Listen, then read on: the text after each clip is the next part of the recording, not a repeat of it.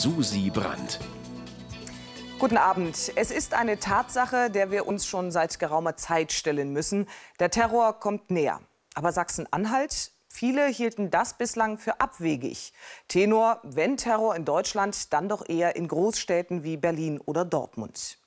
Diese Annahme ist spätestens seit heute hinfällig. Ein terrorverdächtiger Syrer wurde heute Morgen um 5 Uhr von einem 20-köpfigen Spezialeinsatzkommando in Magdeburg festgenommen. Roland Jäger berichtet.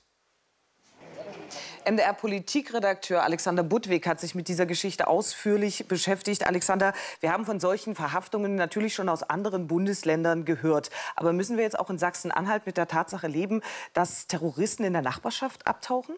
Also auch für Sachsen-Anhalt ist es nicht der erste Fall. Wir hatten einen ähnlichen Verfassungsschutz, sagt klipp und klar, Sachsen-Anhalt steht nicht im Vor. Ein Zufallserfolg oder war das eine lang vorbereitete Aktion heute? Nein, also es war. Die Bevölkerung wird diese Geschichte nicht unbedingt zur Beruhigung beitragen.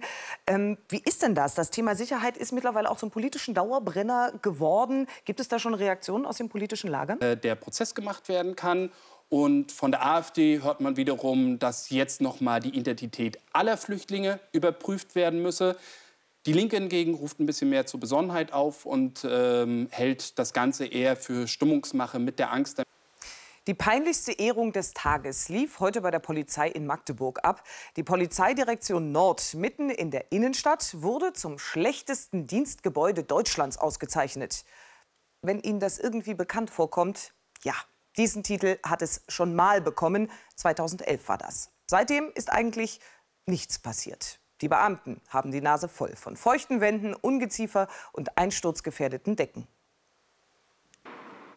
Eines der Tourismusziele in Sachsen-Anhalt ist Wernigerode. Die Nähe zum Brocken, das historische Fachwerk und besonders der mittelalterliche Marktplatz ziehen die Menschen magisch an. Besonders stark gefragt ist die erste Adresse, wenn es ums Heiraten geht. Das Rathaus auf dem Marktplatz, auf den seit Jahrhunderten auch der Wochenmarkt einlädt. Doch die Stadt überlegt jetzt, diesen Wochenmarkt von hier wegzubekommen. Holger Pochalla weiß warum. Die weiteren Nachrichten des Tages hat Laura Jahnke im Blick. Wer Grundschulkinder fragt, was sie in der Schule am liebsten machen, kann schon mal die Antwort bekommen, im Schulchor singen oder bei den Streitschlichtern mitmachen. Doch ähm, diese AGs wird es vielleicht bald schon nicht mehr geben, weil das Bildungsministerium wegen des Lehrermangels nämlich weniger Lehrerarbeitszeit pro Schüler einplanen will. Befürchten nun Eltern, Grundschulverband und Grundschulleiter, dass AGs oder zusätzliche Förderangebote wegfallen könnten. In Aschersleben machen Eltern dagegen mobil. Diese über 40 Jahre alte Einfahrt der evangelischen Grundschule Hettstedt war eine Stolperfalle.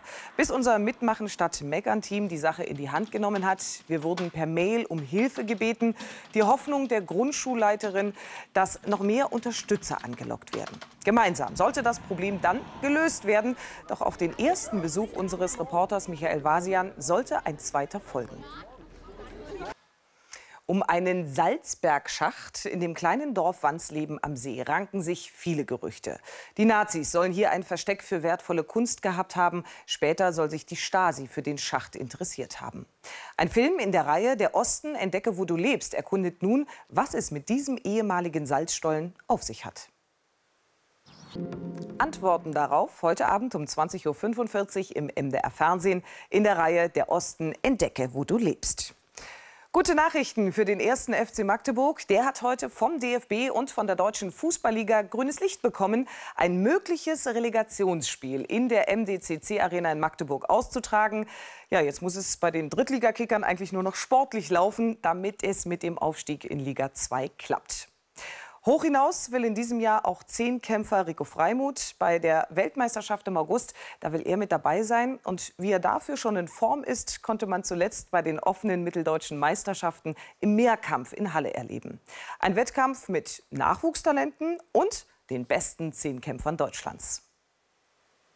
Der hat schon Hitze. Ein kühler Mai wird hoch geacht, hat stets ein gutes Jahr gebracht. Das besagt eine alte Bauernregel. Doch so richtig prickelnd ist das kalte Gefühl dieser Tage ja weder für die Landwirte noch für uns. Mal ehrlich, ich habe sogar schon mal überlegt, die dicke Winterdecke doch wieder aufzuziehen. Wir haben heute im Land mal die kühle Stimmung eingefangen und geschaut, wie Sie so damit umgehen, dass uns der Mai die kalte Schulter zeigt.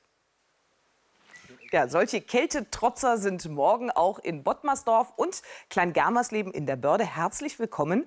Unsere Radiokollegen sind dort mit der Landpartie. Klein-Germersleben war übrigens mal ein Fischerdorf. Wussten Sie das? Mitten in der Bördelandschaft. Und die Bottmersdorfer Kirche bewahrt eine der ganz seltenen in Europa noch erhaltenen Orgeln. Das klingt wirklich nach spannenden Eindrücken. Verpassen Sie die bitte schön nicht. Morgen ab 9 Uhr bei MDR Sachsen-Anhalt das Radio wie wir. Wir sehen uns dann natürlich am Abend wieder mit allen Neuigkeiten aus Sachsen-Anhalt und geben jetzt ab an die Kollegen von MDR aktuell. Wir wünschen Ihnen einen friedlichen Abend. Tschüss, bis morgen.